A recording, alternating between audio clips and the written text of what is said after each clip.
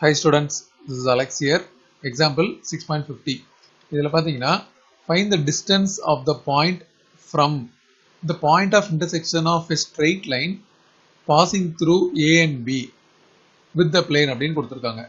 So இதை நம்ம கிளியராக புரிஞ்சுக்கணும் அப்படின்னா ஒரு சின்ன டயக்ராம் நீங்கள் பார்க்கணும். நம்ம ஒரு பிளேன் கன்ஸ்ட்ரக்ட் பண்ணலாம். ஸோ பிளேனுக்கு நம்ம ஒரு பேரலோகிராம் எடுக்க போகிறோம் இந்த பிளேன் ஈக்குவேஷன் கொடுத்துருக்காங்க. ஸோ பிளேன் ஈக்குவேஷன் பார்த்தீங்கன்னா நம்ம இங்கே சைடில் எழுதிடலாம். X minus Y plus Z equal to five இப்போ இந்த பிளேனும் ஒரு லைனும் மீட் ஆகுது. ஸோ ஒரு லைன் மீட் ஆகுது அப்படின்னா அந்த லைன் வந்து நம்ம கொஞ்சம் ஸ்லாண்டிங்காக போடணும். அதாவது இப்படி வரணும். இந்த இடத்துல இப்படி மீட் ஆகுதுன்னு அர்த்தம். ஓகே மீட் ஆகி ஃபர்தராக இப்படி கண்டினியூ ஆகுது. ஸோ இதுதான் மீட்டிங் பாயிண்ட் இந்த மீட்டிங் பாயிண்ட்டை நம்ம வந்து ஆல்ரெடி கொஸ்டினில் ஏன் மீன் பின்னு பாயிண்ட்ஸ் இருக்குது அதனால இந்த மீட்டிங் பாயிண்ட்டை நம்ம சி அப்படின்னு எடுத்துக்கலாம். ஓகே இந்த மீதி ரெண்டு பாயிண்ட் இருக்குல்ல ஏ அண்ட் பி அதை நம்ம எங்க வேணா எடுக்கலாம் அந்த லைன்ல சும்மா ஒரு ரஃப் டயக்ராம் தான் இல்லையா? ஸோ அதனால இது எக்ஸாக்ட் கொஸ்டின் கிடையாது. எங்க வேணா எடுத்துக்கலாம். ஸோ ஏ அப்படின்றது நமக்கு four one and two B அப்படின்றது seven five and four so இந்த ரெண்டு பாயிண்ட் இங்கே இருக்கு. இப்போ இன்னொரு ஒரு point five minus five minus ten அப்படின்றது சம்வேர் இந்த இடத்துல இருக்கு அப்படின்னு எடுத்துக்கலாம். ஸோ இதை நம்ம பாயிண்ட் பி அப்படின்னு எடுத்துக்கலாம்.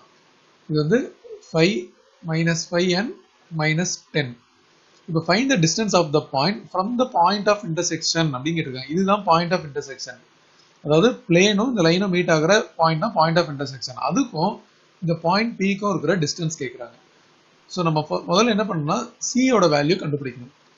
அந்த கோஆர்டினேட் அதை கண்டுபிடிச்சோன்னா இந்த டிஸ்டன்ஸ் பிசி நம்ம கண்டுபிடிச்சிடலாம். இதுதான் கொஸ்டினில் கேட்டிருக்காங்க. ஸோ இப்போ நம்ம முதல்ல என்ன பண்ணணும் அப்படின்னா நம்ம ஈக்குவேஷன் ஆஃப் லைன் ஏபி கண்டுபிடிக்கணும். So equation of line AB கண்டுபிடிக்கிறதுக்கு நம்ம கார்டிஷன் ஃபார்ம்லாம் யூஸ் பண்ண போகிறோம் அதாவது ரெண்டு பாயிண்ட் இருக்கு இல்லையா? அப்போ X minus X one by X two minus X one equal to Y minus Y one by Y two minus Y one equal to Z minus Z one by Z two minus Z one இதை use பண்ண போகிறோம் so இது நம்ம ரெஃபரன்ஸ்க்காக இந்த point வந்து X one Y one Z one அப்படின்னும் இதை X two Y two Z two அப்படின்னு நேம் பண்ணிடலாம். இப்போ X minus four by seven minus four three அதுக்கு அடுத்தது Y minus one by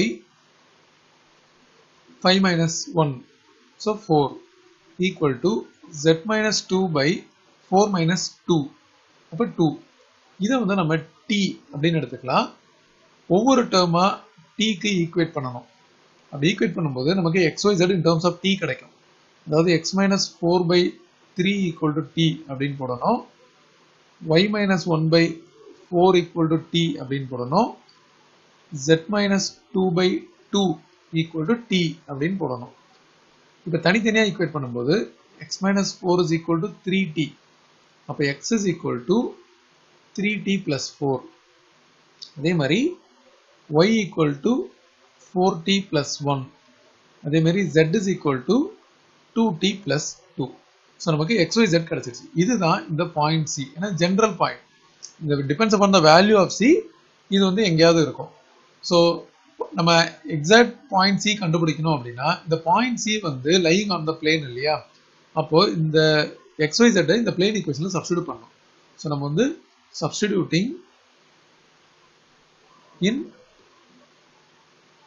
plane equation so இந்த பாயிண்ட்ஸை வந்து நம்ம பிளேன் எக்ஸ்ஒய் ஜெட்டுக்கு சப்ஸ்டியூட் பண்ண போகிறோம் சப்ஸ்டியூட் பண்ணால் ஃபஸ்ட்டு நமக்கு என்ன இருக்குது எக்ஸ் மைனஸ் ஒய் இருக்குது அப்போ எக்ஸ்னா three t plus four minus y அப்படின்னா minus four t minus one plus z அப்படின்னா two t plus two equal to five அப்படின்னு வரும். இப்போ டோட்டலாக இதில் பார்த்தீங்கன்னா இது ரெண்டும் சேர்ந்தா five t five t minus four t t அதே மாதிரி இந்த four minus one three three plus two five five and five cancel ஆகிடும் டீயோட வேல்யூ ஜீரோ அப்படின்னு கிடைச்சிருக்கு. இதை நம்ம மறுபடியும் எக்ஸ் போட்டால் நம்ம எக்ஸாக்ட் பாயிண்ட் சி கிடைக்கும். Therefore point C is இப்போ டி ஜீரோன்னு போட்டால் என்ன ஆகும்? ஃபோர் வந்துடும் இங்கே ஒய்யில் இங்கே ஜீரோ போட்டால் என்ன ஆகும்? ஒன் வந்துடும் இங்கே ஜீரோ போட்டால் டூ வந்துடும் அப்போ இந்த ஃபோர் ஒன் டூ தான் பாயிண்ட் சி ஸோ இந்த பாயிண்ட் சி நமக்கு கிடைச்சிருச்சு. ஸோ இங்கே எழுதிடலாமா? ஃபோர் ஒன் டூ இப்போ அவங்க கேட்ட டிஸ்டன்ஸ் பிசியை நம்ம டிஸ்டன்ஸ் ஃபார்முலா வச்சு கண்டுபிடிச்சிடலாம். ஸோ இப்போ பாயிண்ட் பி அண்ட் சி நான் மறுபடியும் கீழே காப்பி பண்ணிடுறேன். Five minus five minus ten இருக்கு. அதாவது பாயிண்ட் பி வந்து five minus five minus ten point C வந்து ஃபோர் ஒன் டூ இப்போ நம்ம டிஸ்டன்ஸ் ஃபார்முலா யூஸ் பண்ண போகிறோம் டிஸ்டன்ஸ் ஃபார்ம் வந்து root of x two minus x one whole square. So four minus five whole square plus y two minus y one whole square plus z two minus z one whole square minus பண்ணும்போது நமக்கு sign change ஆகிடும் so இது full root இதை ஃபர்தராக சிம்ப்ளை பண்ணணும். So இது வந்து root of இது ஒன் ஸ்கொயர்னா ஒன் தான். இது வந்து சிக்ஸ் ஸ்கொயர் தேர்ட்டி சிக்ஸ் இது twelve square one forty four so இந்த நம்பர்ஸ்லாம் ஆட் பண்ணும்போது one forty four thirty six and one இருக்குது ஸோ இது வந்து டென் லெவன் ஸோ இங்கே எயிட் வரும். அப்புறம் ஒன் எயிட்டி ஒன் ஸோ இது வந்து root of one eighty one units அப்படின்னு வரணும்.